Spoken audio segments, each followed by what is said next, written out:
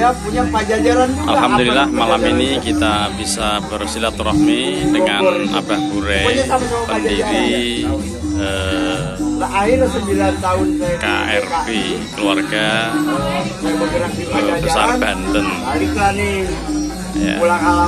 dan hadir di sini. Pak RT, Bang Kecil, eh, dan juga Pak Maliki, ada sekjennya Bang Kelly, dan di samping kanan saya ada Abang Ade, eh, ada Abang Abang Daeng.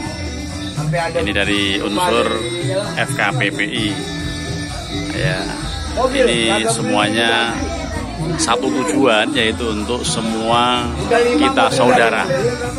Nah, itulah moto utama yang ada di dalam kepengen? eh, KRB keluarga besar Banten yang mewadai atau ya di dalamnya itu ada beberapa ormas yang ya selama ini sudah ada ya ada uh, pemuda Pancasila, ada kembang latar, ada uh, apa ya Laskar Banten dan lain-lain.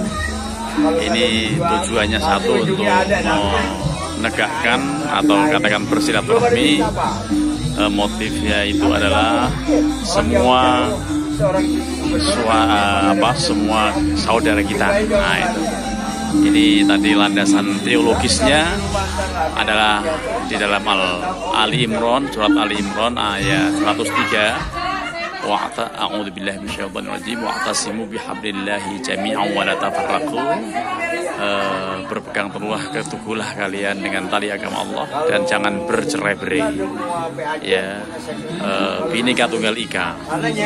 Bersatu kita teguh, bercerai kita runtuh, dan rukun agawi santoso, kubra, apa, eh, eh, cerah agawi buddha. Nah itu motif yang ada pada harus eh, KRB.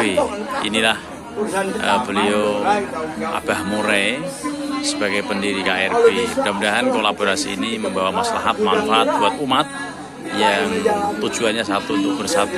Kunu ibadallah ikhwana. Jadilah kalian hamba Allah yang bersatu. Terima kasih. Wallahul muwaffiq ila qawmi. Assalamualaikum warahmatullahi wabarakatuh.